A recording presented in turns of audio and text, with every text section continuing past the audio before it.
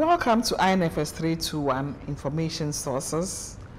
Session 11 looks at electronic resources.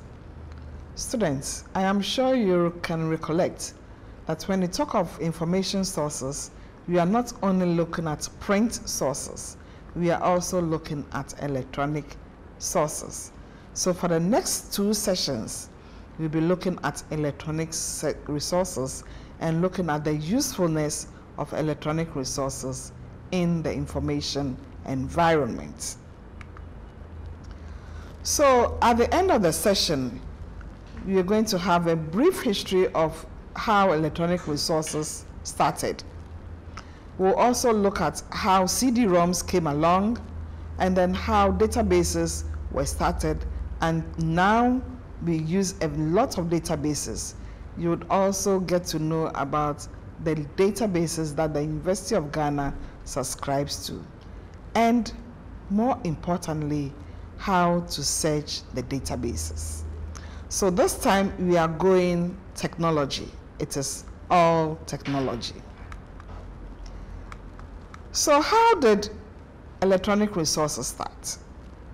It began with the development of computer-assisted typesetting and printing. Now, before the computer technology advancement in the late 1960s, librarians consulted standard printed reference works. That means they consulted the book reference works. The publishers of indexing and abstracting services first used computers to print paper products. It was subsequently that these same paper products were converted into magnetic tapes for librarians to search articles or citations to articles that were required by users. So we had the magnetic tapes, but these were not end user materials.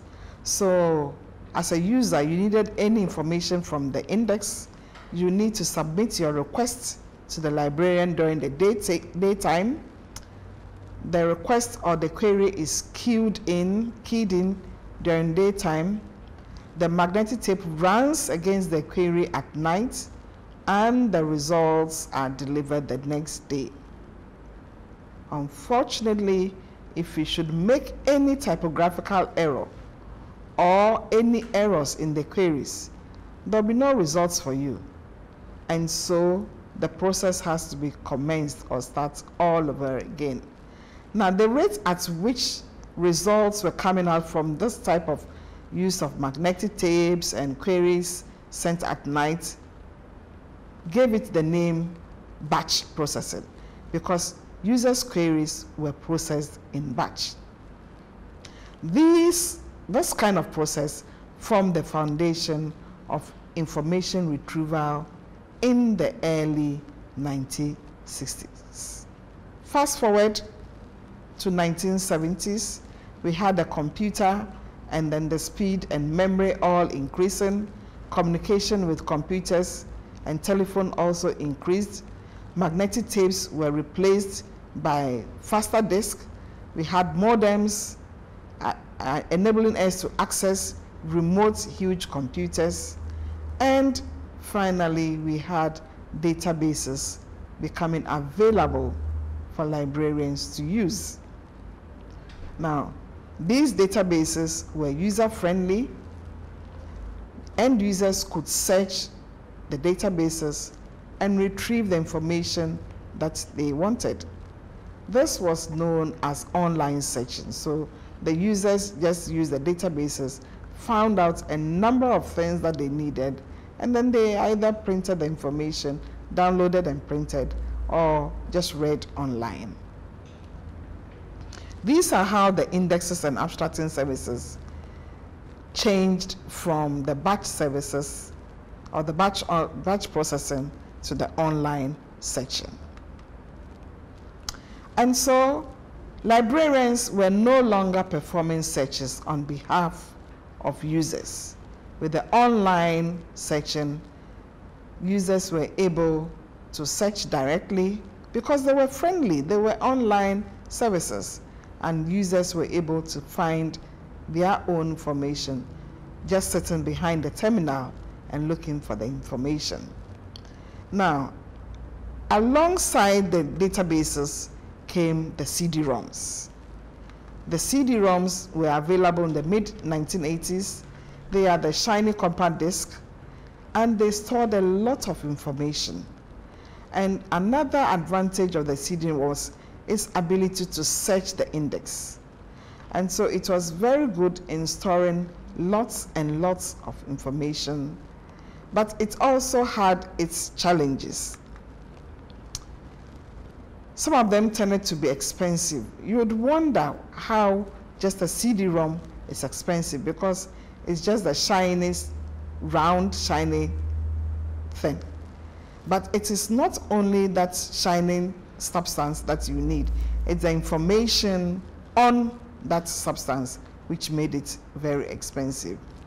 Another disadvantage of the CD-ROM was the lack of standardization. And so users could not carry one search strategy from one CD-ROM to the other, hoping that it will be the same. Publishers produced different ways in which you could access the CD-ROM. And so we come to databases, and this is the most current of our searches. Um, the database is a collection of information on one or more related topics. A database is a set of information formatted into defined structures. So we can have a database of students. We can have a database of universities. So a database of students will comprise information such as the student's name, the student's course that he's doing, the student's ID, the student's sex. That is related information. That is why we describe the database as a collection of information on one or more related topics. There are two main types of databases. We have the bibliographic database and we have the non-bibliographic database. Now, the bibliographic database are the machine readable form of indexes, all the indexes and abstracts which do not contain detailed information. So the base record in a bibliographic database is the citation. When we talk about bibliographic citation, we mean the author's name, the title, the publication, the, the page number, and what have you. A bibliographic database can also be an abstract. So it may contain the abstract or summary of the abstract, the subject heading, the author, the title, and the source information. But it will not contain the full text. So you would have the indexing information, you have the abstract information, but the full information is not contained in a bibliographic database. That is what can be obtained in a non-bibliographic database. So what's a non-bibliographic database? It's a variety of databases distinguished from bibliographic database by content, style, or format. So a non-bibliographic database contains information other than just citation to the books or to the articles, but it contains the detailed information. And we talk of two broad categories of non-bibliographic databases.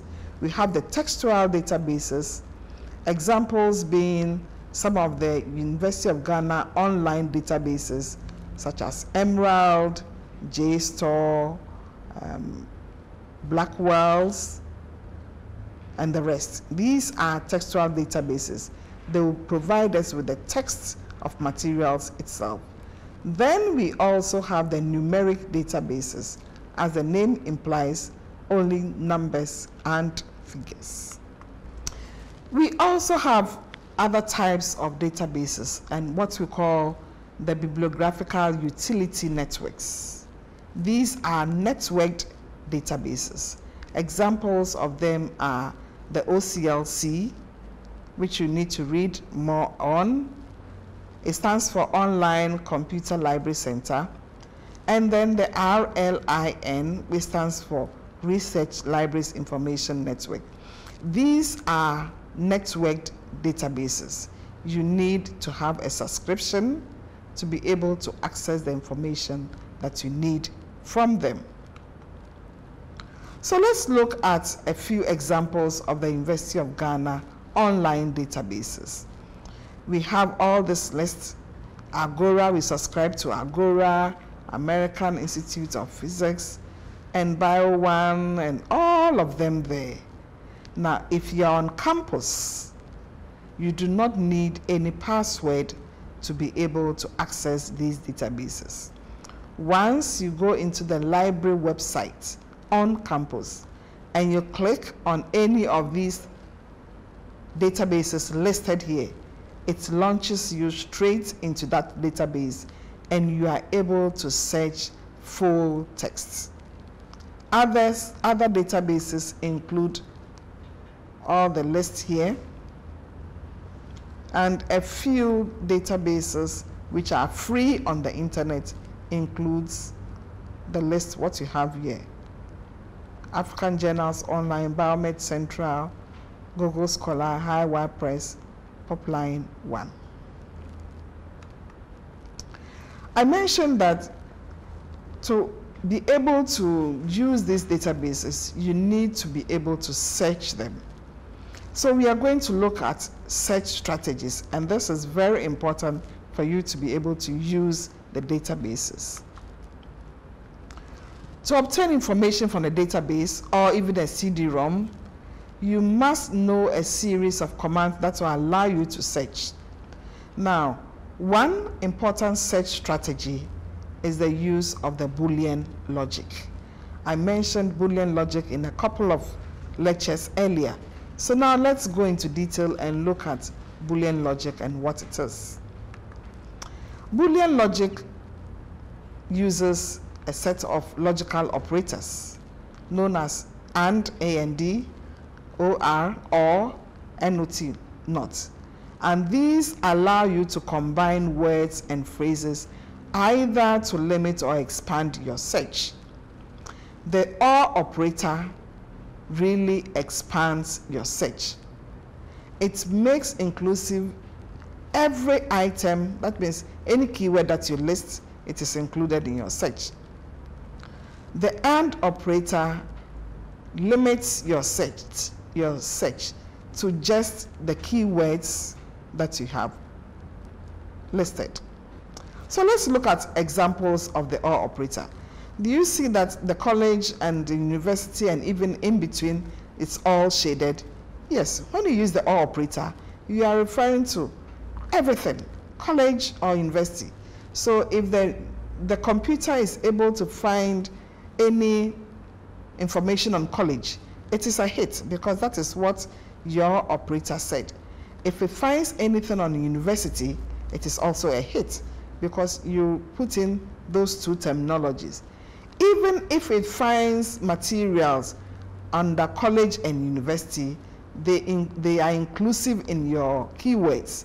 And so everything is brought up. So when you use the OR operator on the computer, you are in effect collecting a lot of information. That is what the OR operator does. Then we have an AND operator, which is very restrictive. If you can see from the diagram, I, I did a search for poverty and crime, and it is only the intersection which is highlighted. That is what the AND operator does. It just restricts it to the terms that you have used, and so it narrows the search for you. So for poverty and crime, it means that you are telling the computer, I want information which has both terms available. The term poverty and crime is only available in the intersection. When you move out of the intersection, it is only one of those terms. But because you use the operator and, the computer understands that you need to see both terms in the articles that they will retrieve for you. Then we have the not operator, which also excludes certain items. For instance, you have cats, not dogs. If you look at the shaded portion of cats, it is only information on cats. If you move out and come to the intersection, you have a few dogs there. But that is not what you're looking for. You are only looking for cats. If you go to the other circle, we have dogs there. But in your search, you said you want cats, not dogs. So that is how the Boolean logic operates. And is best represented with the Venn diagram. We also have what we call the implied Boolean, which uses symbols. So instead of the A and D, you'd use the plus sign. Instead of the um, OR, there's no sign there and instead of um, no sign, um, instead of um, not, you use the minus sign.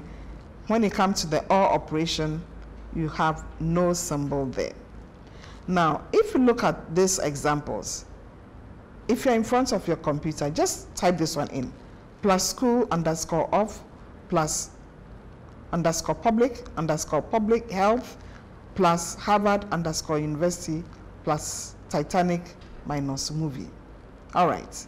So in the first example, what I am trying to tell the computer is that I want you to search School of Public Health as one term. I don't want you to give me separate searches for school, separate searches for public, and separate search for health. School of Public Health should come out as one word. And then Harvard University should also come out as one word. And so in effect, I'm telling the computer, I want the School of Public Health at the Harvard University.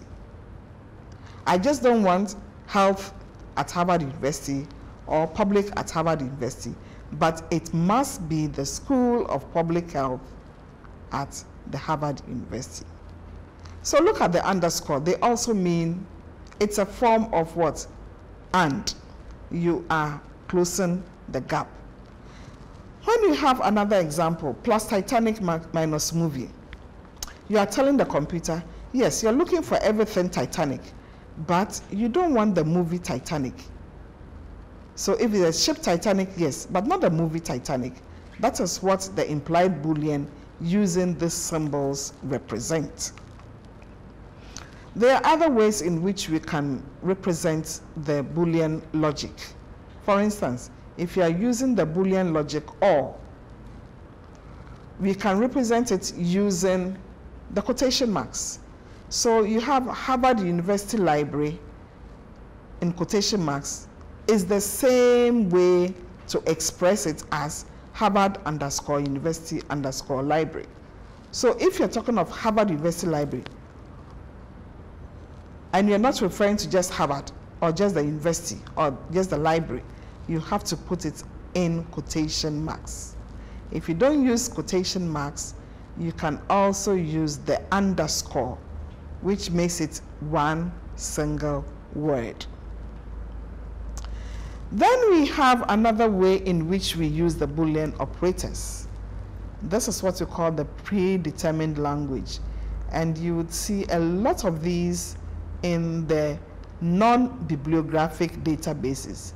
You remember I talked about the non-bibliographic databases, examples, the Emerald, the JSTOR, the Blackwells, the, the others, yes. They use a lot of these predetermined language. So for instance, if you are searching and they give you these options, all of these words, it represents the Boolean logic and any of these words represents the Boolean logic or must not contain represents the Boolean logic not. Ladies and gentlemen, another search strategy is called truncation. Truncation refers to the shortening of a word or eliminating some characters from a longer term to pick up variants. It's a form of the Boolean operator OR. It's also called the wildcard search. Now, usually you have the stem of a word and you use the symbol to represent what the truncation is. And it can bring out the different variants of the word. Some symbols used in truncation include asterisks, question marks, the colon, or even the plus sign. And this actually depends on the particular search engine that you are using. I believe you all know what search engines are, and the popular search engine being Google. So depending on the particular search engine you are using, you can select the truncation sign. And to be able to determine which truncation sign is used with which search engine, refer to the advanced search of the particular search engine. Go to the advanced search section and it will tell you which of the symbols it is using or it accepts for truncation. So let's look at some examples of truncation. we have left truncation where the symbol is on the left and the stem is on the right. So for instance, if you have asterisk ship, the computer can bring out words such as librarianship, statesmanship, relationship, and the different kinds of words which end with ship. If you have the right truncation, then the symbol is on the right, but the stem is on the left. So for instance, you have the term LIBR, and then you have your truncation symbol. The computer is going to generate words such as library, librarian, libraries, librarianship. Yes, because it's the stem is LIBR. Then we have also what you call the middle truncation, where we have another symbol representing it. And usually these are supposed to come out with different spellings of a particular word. For instance, you have L-A-B-O and then your truncation sign and R. It retrieves the American spelling of labor, the British spelling of labor. So American spelling of labor, L-A-B-O-R, British spelling, L-A-B-O-U-R, so it retrieves all the different spellings, either British or American, of a particular word. That is middle truncation.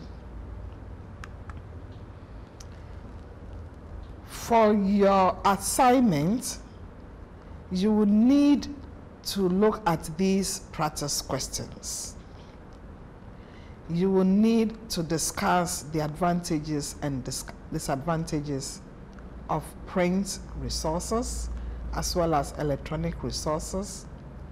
You need to enumerate at least five databases in CD-ROMs and also mention the challenges with CD-ROMs.